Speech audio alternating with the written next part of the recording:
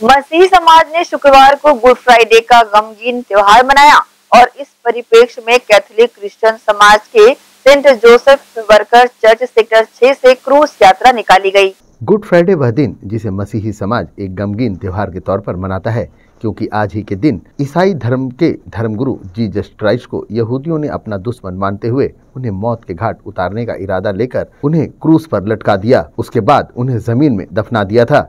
ताकि यहूदियों की रहनुमाई कोई ना कर सके। परंतु ठीक उसके दो दिन बाद प्रभु यीशु मसीह ने दोबारा प्रकट होकर यह बता दिया कि सच्चाई के राह पर चलने वालों को और सबसे प्रेम करने वालों को कोई मिटा नहीं सकता। इसलिए गुड फ्राइडे का त्यौहार मसीही समाज द्वारा मनाया जाता है। इसी त्यौहार को मनाते हुए कैथोलिक क्रिश्चियन समाज के Saint Joseph workers church sector 6 से क्रूस यात्रा निकाली गई, जिसने पूरे टाउनशिप क्षेत्र का भ्रमण किया और वापस चर्च में समाप्त हुई। उसके बाद चर्च में प्रार्थना सभा भी आयोजित की गई जिसमें प्रभु यीशु मसीह के अनुयायियों को उनके बलिदान की गाथा सुनाई गई। चर्च कमेटी के सचिव ए डी विंसेंट ने क्रूस यात्रा और गुड फ्राइडे पर हुए आयोजन की जानकारी मीडिया को दी। हाँ मैं मेरा नाम ए डी विंसेंट है। मैं पल्ली का सचिव हूँ पल्ली परिषद का सचिव हूँ।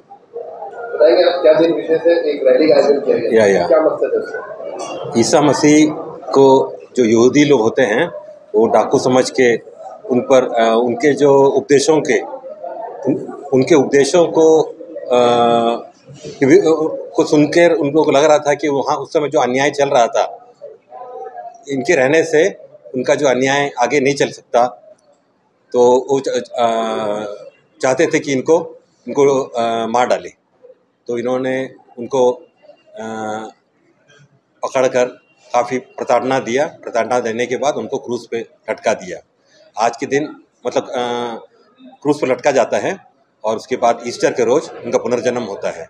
उन्होंने जो प्रेम और भाईचारा का संदेश दे रहे थे कि वो जो जितना भी उन्होंने प्रताड़ना दिया हो, उस प्रताड़ना को सहते हुए उन्होंने किसी प्रकार का भी मतलब वो ईश्वरीय शक्ति थी उनके पास में, उस ईश्वरीय शक्ति को भी उन्होंने ना करके उन्होंने मानव जाति के लिए पूरा दुख सहा मानव जाति को पाप से बचाने के लिए उन्होंने पूरा दुख सहा और प्रेम का संदेश दिया। तो उसी को हम फॉलो करते हुए आज हमने दिखाया है कि इतने भरी दोपहरी में भी हम उसी रास्ते पे हम ईसाई समुदाय चल रहा है। ईस्टर के रोज़ मतलब रात को 11 बजे नई आग की आशीष होगी।